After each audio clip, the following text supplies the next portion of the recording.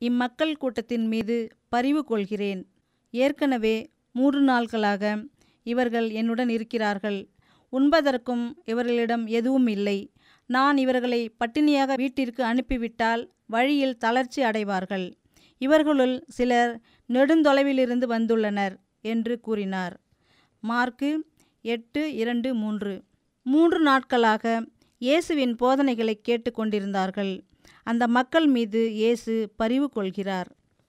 மக்கள் கொண்டு வந்திருந்த உணவுகள் கொஞ்சம் கொஞ்சம் இருந்திருக்கலாம். ஓரிரு நாட்களில் முழுமையாய் நிறைவடைந்து ஒன்றுமில்லை எனும் நிலைக்கு வந்திருக்கலாம்.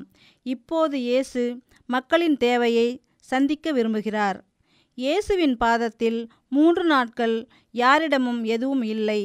பாலை நிலத்தில் எதுவும் வாங்கவும் முடியாது. இப்போது ஒரு புதுமை மட்டுமே பசியாற்ற முடியும் எனும் நிலை. நம்மால் இனிமேல் ஒன்றும் செய்ய முடியாது. நம் கையில் எதுவும் இல்லை எனும் நிலை வரும்போது ஆண்டவர் நம் தேவையை சந்திப்பார்.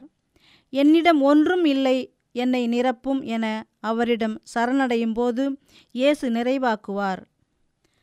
நமது வாழ்வில் சில வேளைகளில் நடக்கின்ற இறைவனின் நிகழ்வுகள் நமக்கு பளிச்சென உணர்த்துகின்றன.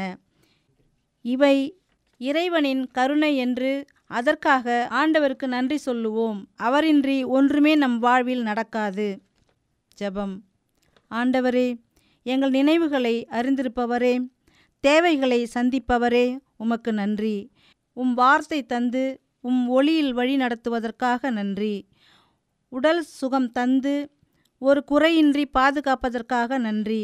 துன்பத்தின் பாதையில் எங்களோடு துணை வந்து ஆசீர்வதிப்பதற்காக நன்றி. ஆமேன்.